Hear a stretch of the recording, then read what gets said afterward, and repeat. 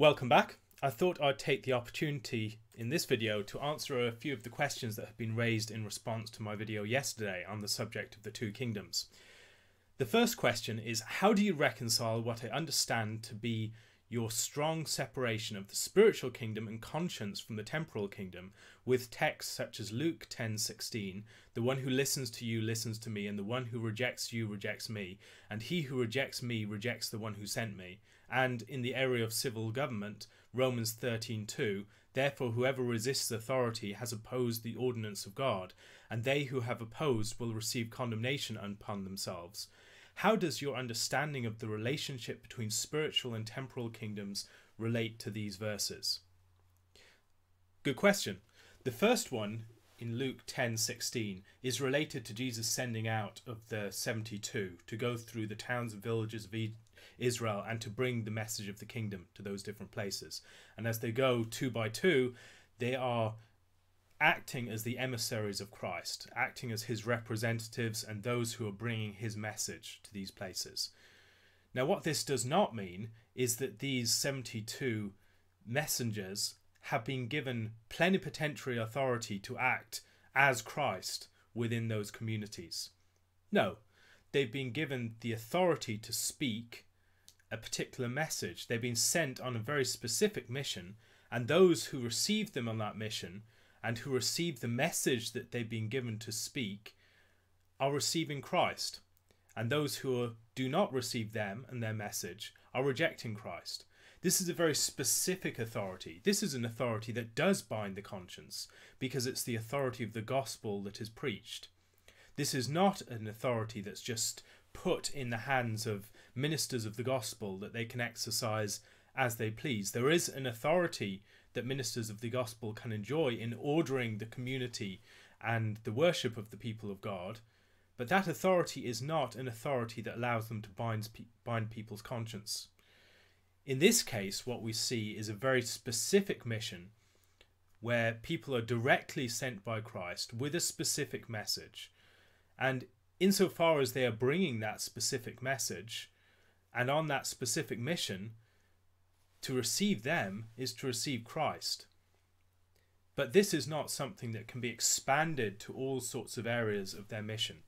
It does apply to the ministers of the gospel in a broader sense. It applies in that when some minister of the gospel brings the message of Christ, to receive that minister and that message is to receive the one who sent them, even if it was they were sent in a far less direct fashion than these 72 or the 12 apostles, they are still receiving Christ in receiving the gospel message.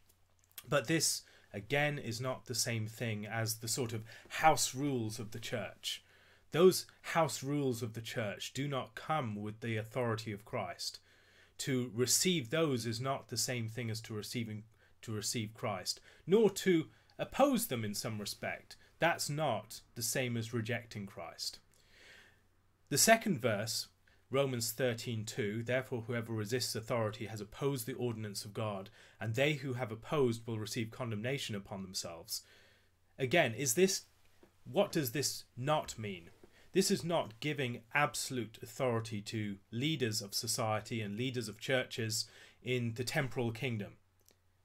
These people do have authority, and to reject that mediated and indirect authority and its proper exercise is to reject Christ because it is a mode of Christ's rule.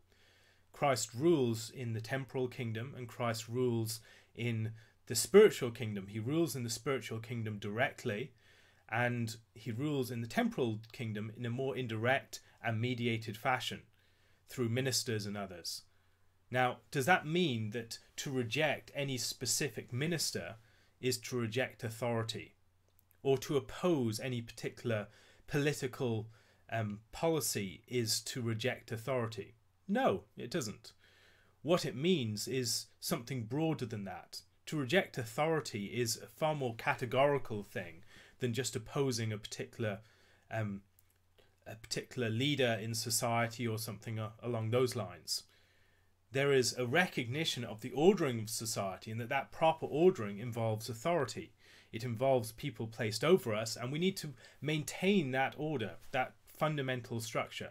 That does not mean that everyone exercising authority within that order is appropriately doing so, nor does it mean that we are forbidden from ever speaking out against abuses of authority or from opposing authorities as they are acting in a wicked and an inappropriate manner. And so there are limits to these things on both sides. First of all, that we recognize the existence of a proper authority. And that proper authority is not final authority, but to resist that secondary derivative authority, that indirect and and that mediated rule of Christ in the realm of the state, in the realm of church government and things like that, to resist that authority in a more categorical sense is to oppose what God has established and to set ourselves up for condemnation. But that is not granting absolute authority, the sort of thus says the Lord authority that would often see associated with that in certain quarters, where there is an abusive and tyrannical form of church government, sort of do not touch the Lord's anointed approach that you see in some quarters, where to even challenge or speak out against some of the actions of a church leader is to oppose God himself. No, this isn't what that's teaching. And likewise with the other verse, it's a recognition of the authority that the ministers of the gospel carry. But also, it needs to be held in check by an understanding of where that authority exists and where it does not exist. And the authority of the church leader is not an absolute authority. It's not a, an authority in every single respect. Rather, as a minister of the gospel, they can act in a way that represents the authority of Christ in the spiritual kingdom and direct that to people's consciences. But and this is an exercise of the spiritual kingdom, but a different form of it from Christ's more direct rule. But it does bind the conscience insofar as it represents the word of Christ the word of Christ that is addressed to the human heart. And as we respond to that, or as we don't respond to that, we are responding or not responding to Christ. And so there is a proper authority there, but it's a mediated authority. And it's an authority that's bound up with an authority that's also ordering things of the temporal kingdom in the organization of the church when we have our meetings, how often we celebrate the Lord's Supper, and how we go about certain forms of the liturgy, all these sorts of things belong to the temporal kingdom. And in the preacher of the gospel or in the elders of the church, we see a straddling of these two realms. On the one hand, there is the preaching of the word of God, the message of Christ to the conscience in a way that, as it's faithfully preached, should and will bind that, that conscience to obedience. On the other hand, there's a lot of the ministry of the church that is just the directing of conduct. It's a proper authority, but it's a secondary authority. It's like the authority of parents to say that you need to stay at the table bef- until everyone has finished, or that we'll wait before we eat, we'll have to say a prayer and do a Bible reading. Those sorts of things. Those are house rules. They are prudent and good house rules, but they do not come with the absolute authority of Christ. So to disobey those is not the same thing as rejecting the law of Christ outright. But on the other hand, to reject the authority of your parents is to overturn the ordinance of God. And so there are ways that we relate to our parents that recognize, on the one hand, their authority is not absolute. Their authority does not come with a, thus says the Lord. We have been told by the Lord to honour our father and mother, but to honour them as secondary authorities, not as absolute authorities that bind our conscience in the same way as the word of the Lord does. And yet, that sense of the thus says the Lord that bind, does bind our conscience does not leave us free to do whatever we want when we relate to our parents. There is an honouring of our parents and their secondary temporal earthly authority that requires submitting our conduct to their direction as children. And so these are the sorts of balances that need to be held in play. And within the church, you have both of those sorts of things at work.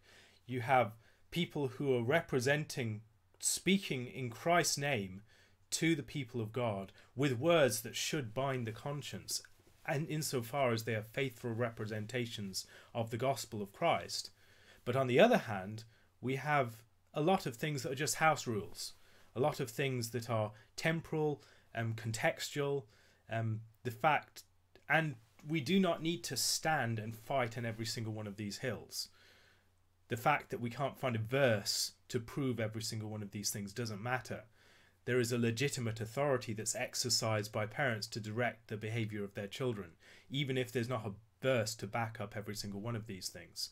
Rather, it's the authority that Christ has established, the ordinance of God, and those who oppose parental authority in a more categorical sense are opposing the ordinance of God and bringing condemnation upon themselves. But that can be true without saying that parents have an absolute authority. And so it's very much keeping things in their proper place and in check. A second question um, was rather disappointed on this particular issue. There's an appeal to sapiential prudence, but it ignores the ability to decide those boundaries. For example, John Hooper's protest over vestments and the requirement to wear the surplice. From the Elizabethan point of view, this piece of dress was adiaphora, and under two governments belonged to the magistrate. But Hooper's argument was the presence, let alone the requirement of vestments, was Judaizing, an attempt to bring back Old Testament forms. It was analogous to St. Paul and circumcision. I'm not saying Hooper was right, but the result was state pressure to conform, which he eventually buckled under. What precisely were the mechanisms of judgment? The Queen's fiat will? Privy councillors? Who gets to decide, and what process facilitates this decision? This is where the two kingdoms, as the magisterial reformers understood it, breaks down into the harsh reality and the high flying ideas. And the idea that the governorship of the Queen of the Church is prudential is somewhat silly in the light of the long scope of English history, from wars of conquest, chattel, slavery, empire, etc. It's hard to see how this form of government did anything but hinder the Church in many epochs. Every reformed society ended up being an engine of state or commerce, fundamentally compromised. Um, the fact that good came out of them is a sign of God's mercy and love despite cold hearted treason which gets down to prudential application of Presbyterian and Episcopal forms of government. The existence of these forms dates not to any exercise of prudence, but from Iure Divino arguments or appeals to church as organ of state. The fact that we have them now is a consequence of it, and the claim that we decide according to prudence now seems like de factoist re- reasoning. The whole account seems like an account, an exercise in post hoc, hoc propter hoc self referential reasoning. I don't mean to sound harsh, it's just that while I've found the theonomists frustrating, two kingdoms arguments always sound like they're doing acrobatics to avoid answering any questions of substance. I agree with the concern over a sacral state or a sacerdotal ministry, but I think the Swiss Anabaptists began to prove better answers to these questions than their magisterial brother. The church, even in institutional forms, has a different end than every other social body outside of itself and cannot operate as a mere institution, functioning to mere creational logic, but a creation proleptically envisioned in maturity. Now, there's a lot of things in this comment, and I think a lot of it arises from misunderstandings of what's being said. First of all, look at the example of John Hooper's protest over vestments. What we have in these sorts of cases is the problem of all these issues being made a matter of God's claim upon the conscience. So, on the one hand, we have this idea that this idea that to wear or not wear vestments is an absolute requirement of God. And in that sort of case, what we have is we will die on every single hill. We will have this situation where no one will actually bend on any issue no compromises will be made. No proper society will be ordered. There'll be anarchy because everyone has their own idea of what the absolute law of God says on every single one of these issues. And that's the sort of danger that someone like Richard Hooker was responding to. And I'd highly recommend, um, yesterday I recommended um, the book on um, The Two Kingdoms by Brad Littlejohn, and today I'll recommend his book on Richard Hooker, which is an absolutely superb introduction to Richard Hooker and deals with many of these issues in their original context. And then more recently, he's um, been involved in modernizations of Hooker's work. So this is the first of the book of lots of little books modernizing um, Hooker, his laws. And here's one particular passage that I think speaks to this problem. And this is in the modernization. It has often been truly said that those who are otherwise the best of men are not necessarily the best men when it comes to their membership in society. The reason for this is that the law by which we measure men's actions as moral agents is quite different from that which considers them as parts of a political body. There are many men who are very upright and commendable as individuals, and yet, when they are in a society with others, they, are, they simply cannot perform the duties required of them. Indeed, I am convinced that the men with whom we are striving in this case are the sort whose betters among men might scarcely be found, if only they did not live among men, but lived off in a wilderness on their own. The reason that their dispositions are so ill suited to their society is because they have not understood what roles the different kinds of laws should have in their actions, if there is a question either about church government or about conformity between churches or about ceremonies, offices, powers, and jurisdictions in our church, they begin by framing a rule of interpretation that seems likely, and whatever conclusion this yields, they think themselves bound to practice. They then labour mightily to advocate this, whatever any law of man decides the contrary. Thus, by following the law of private reason where the law of public reason should prevail, they become disturbers of the peace. And this highlights a very important issue. And we think you've seen, most of you have seen this play out in churches where people see every single thing as a hill to die upon, every single thing as a matter of divine law. And that if we do not obey this particular thing, if we do not have, for instance, the Lord's Supper every single Sunday, we are disobeying the command of God. Now, there are very good reasons why we should celebrate the Lord's Supper every single Sunday. But to treat that as a matter of divine law is a recipe for splitting lots of churches. It's a recipe for the breakdown of the order of society in the people among the people of God. And so what Hooker tries to do is to put things in their proper proportion. To say, okay, we'll have differences over these issues, but these are not absolute issues of binding the conscience to the law of God. Rather, these are just matters of the proper organization of the church and the body politic, whether that's the state or the church or the family or whatever it is, or your neighborhood. These are laws that need to be understood not as binding the conscience. And so, when, on the other hand, there's a when he talks about the the queen and uh, royal monarchy and royal government, he does not treat that as an absolute thing binding the conscience, as some former um, Tudor theologians did. Rather, it's a prudential thing, something that arises from natural law and human law. And it's a good thing to have. It's a proper thing to have within that particular context, arguably. But it doesn't require the binding of the conscience. And so, on the one hand, if you're treating this as an absolute conscience issue, your conscience is bound, you must stand your ground, you can do no other, on these all these sorts of issues of vestments, on um, certain forms of ceremonies, whatever it is, if you stand your ground on every single one of these things, die on every hill, that makes things that are in principle matters of human law and decision and prudence and natural law and adiaphora, it makes them things of absolute divine command. What happens in many of these cases, Hooker argues, is that people are taking these verses and these biblical things that aren't very strong in themselves. They're very, they're best likely arguments for something. And they put such incredible weight upon these things that they become absolute commands. You must obey these things, otherwise, we're disobeying the command of God. And so, in the case of someone like John Hooper, uh, Hooper what you have is the idea if you wear these particular vestments, you are um, denying the gospel. Now, you're turning back to Judaism and all these sorts of things. Now, that is just, first of all, there's a catastrophization that you have within certain forms of uh, of churchmanship. And I think that's that often is the case within a very sectarian, legalistic, fundamentalist form of Christianity, where everything is treated as a matter of conscience, everything is a matter of divine law, and there's very little room made for prudence.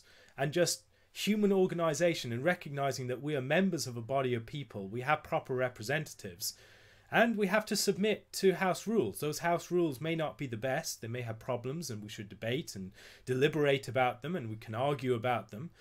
But at the end, we need to recognize proper authority, that we live as part of a society. We're not, as um, Hooker speaks about his opponents, people that would be best off living in the wilderness. We have to live in a society of men, and we have to get on in a society where we have fallible authorities we have limited wisdom, and we don't have absolute divine commands for every single thing.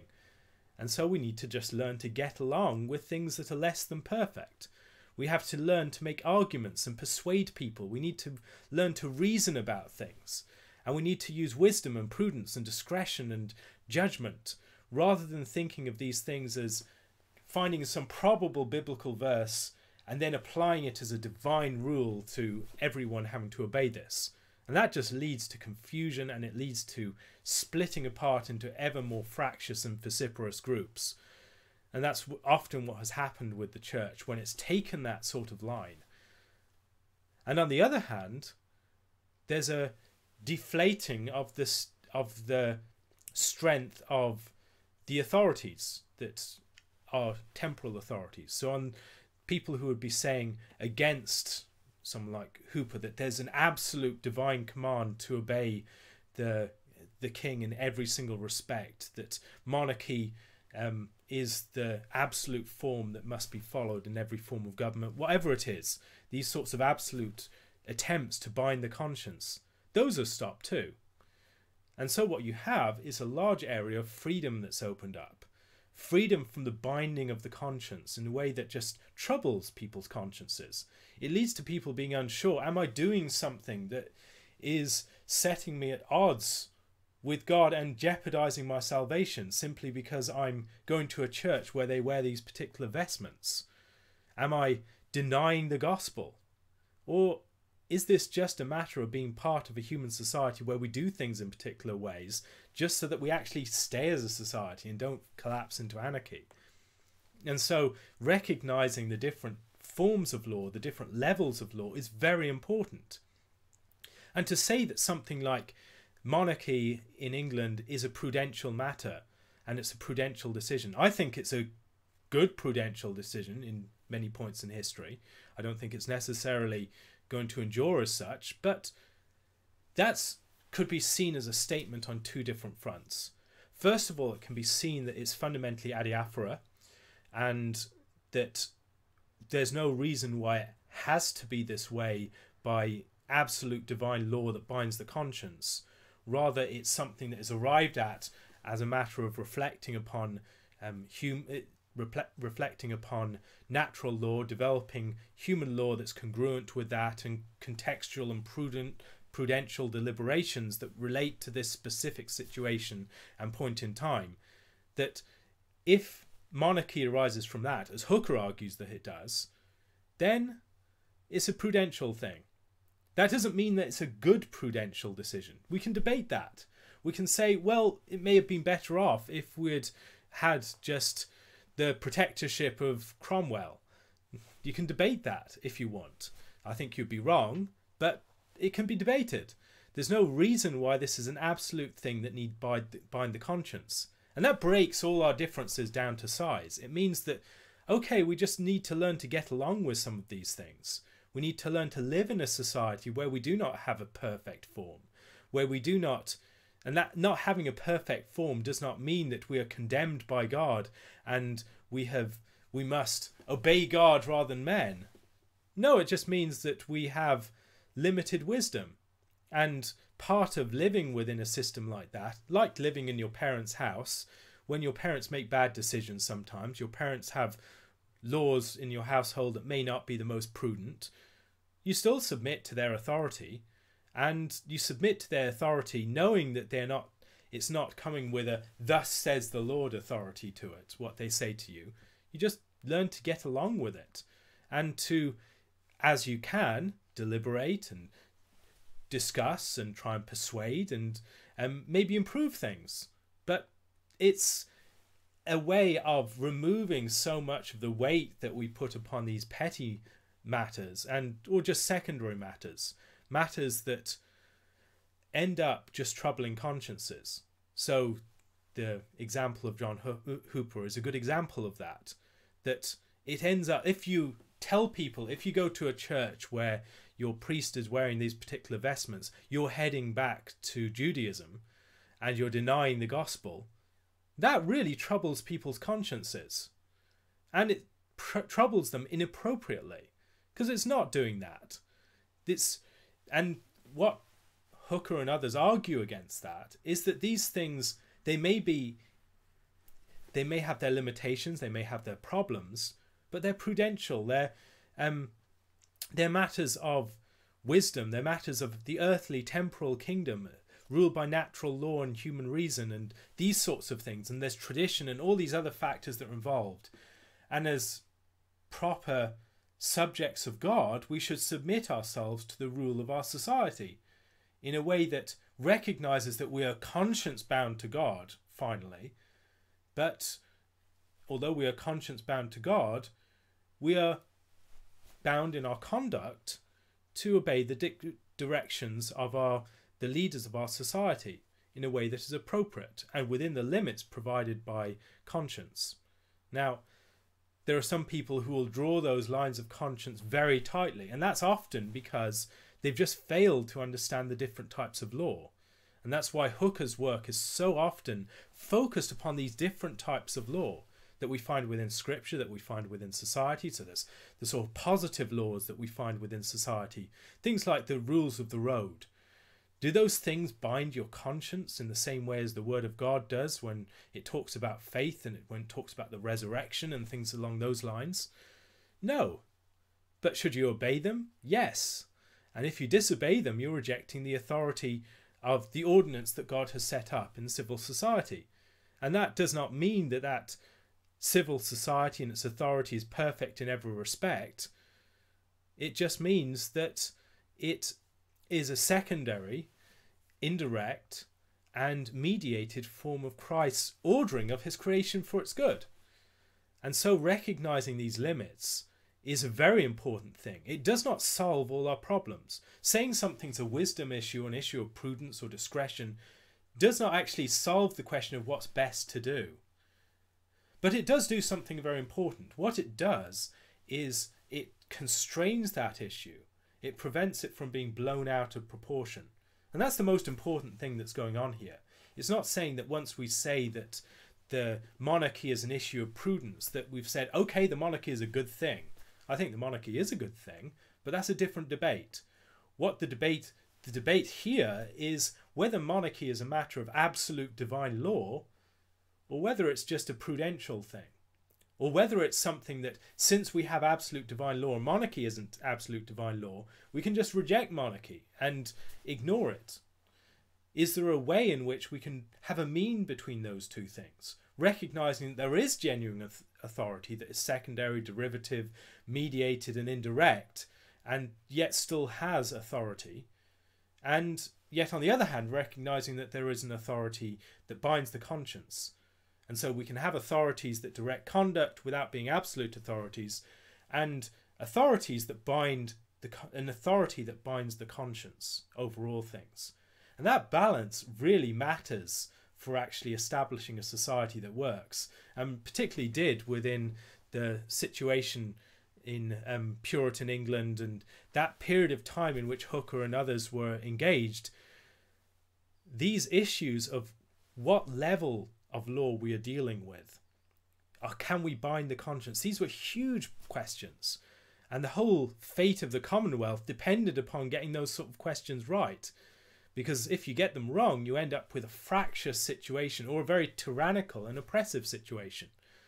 That doesn't mean that all of these things are easily solved once we've decided that they are issues of prudence or adiaphora, but it does break them down to size considerably, and it means that we do not need to die on these hills in the way that we must we would have done before. Now, it is true that in many of these cases, forms of government, church government, were pre- presented as matters of absolute divine law. And that was inappropriate. And Hooker and others argued against that precisely for this reason that you recognize that there are prudential considerations that are taking place here. These are matters of running human society, and there are divine principles that inform our judgment. It does not mean that every single decision that's made is an appropriate one. It does not mean that every single decision that's made can't be disputed and debated and all these sorts of things. But it does mean that these things, first of all, they are not matters of absolute divine law. When we have, if we have a Presbyterian form of government, that's a prudential decision within a particular context, taking certain divine principles and bringing them to bear upon that context in ways that are wise or maybe not so wise. And you submit to that order when it's organized in a proper manner according to the the exercise of reason as the corporate body as it binds itself by laws and as we're part of that corporate body that's appropriate and so when there are people who make these matters of absolute divine law, they are making an inappropriate move. And these it's not as if all these things were decided on that basis and then at a later point we're just rationalizing them on some other basis. There were these arguments that made these matters of absolute law, but often at the beginning, whether that was Presbyterian government or um, Episcopal government, these things were often just seen as matters of good prudence within a particular context. And there's plenty of evidence to um, show that it wasn't all arguments for this is absolute divine command, and then at a later secondary stage you're trying to justify those. That's just not the case. And so when we're dealing with these different positions, on the one hand, you do have the theonomists who are trying to make things absolute matters of law, and in many cases, and to present direct divine commandments for uh, civil punishments, um, for issues of um, how to run the family, how to run society, how to organize your government, how to approach questions of economics, property, all these sorts of things. And they're making things absolute divine law in a way that will often and does often lead to fracturing of communities because everyone disagrees. If you disagree on one jot or tittle, then it becomes a matter of conscience that you're rejecting God's command. And so it just leads to a very fractious situation. On the other hand, you can, with the two kingdoms approach, you can recognize secondary authorities and you can have these debates. You can say, can we learn anything from the Old Testament law that applies to our particular content, context? Now, how does this relate to the Anabaptist view of the church and the idea that the argument at the end the church, even in its institutional forms, has a different end than every other social body outside of itself and cannot operate as a mere institution functioning to mere creational logic, but a creation proleptically envisioned in maturity? Well, yes, the church is different. The church is a sign of the kingdom. But that sign is not the same as the thing signified. Excommunication is not the same thing as cutting someone off from Christ absolutely. Rather, it is related to that. It should be a proper representation of that, just as the preaching of the gospel in Luke's 10:16 is seen as a representation of Christ's spiritual authority directed to the conscience. So the proper running of the church as a sign of the kingdom will and should come with the force of Christ's authority addressed to the conscience. But then a lot of what takes place in the church is institutional. It's prudential. It the fact that we have a particular sort of church organization, the way that um, the times that we meet, the ways that we celebrate the Lord's Supper, so many of these things come down to the area of human law and natural law, informed and enlightened by divine law in Scripture, but not coming with the thus says the Lord authority that the gospel does. And so, yes, we are a, supposed to, in the church, be a sign of the kingdom. And there is a difference between the church and the state in this respect. This is a point I made in the last talk that there is a way in which we're straddling these two kingdoms, these two forms of government. And so the ministers of the gospel within the church, at one level, they're representing the spiritual authority of Christ, governance of Christ as it's addressed, addresses the conscience, insofar as they are preaching truthfully. And on the other hand, they are secondary temporal authorities that are running the organized body of the people of God within its visible and external formal um, sense. And so making those distinctions is very important. And where those distinctions have not been drawn, as they often haven't been drawn within Anabaptist contexts, what you have is, first of all, a failure to properly acknowledge the temporal, limited, fallible authorities that exist within the state that have been established by Christ and are limited but nonetheless proper authorities.